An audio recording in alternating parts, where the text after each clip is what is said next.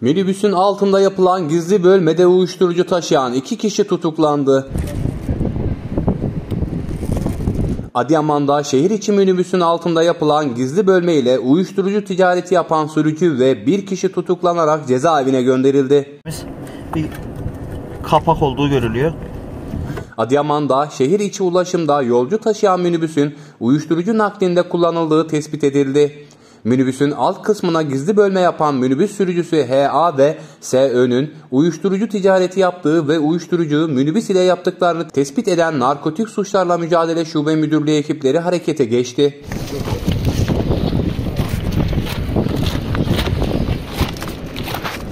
Adıyaman Cumhuriyet Başsavcılığı'nın koordinasyonunda minibüs durdurularak narkotik köpeği ile birlikte minibüste arama yapıldı.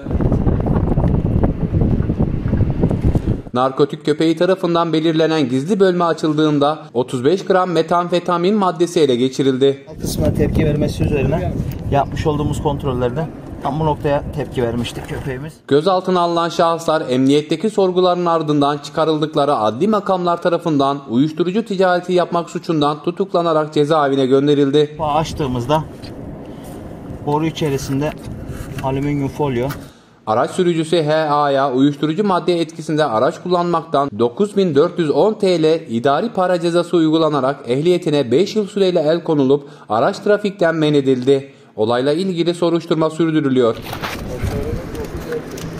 alüminyum folyo içerisinde beyaz poşete sarılmış.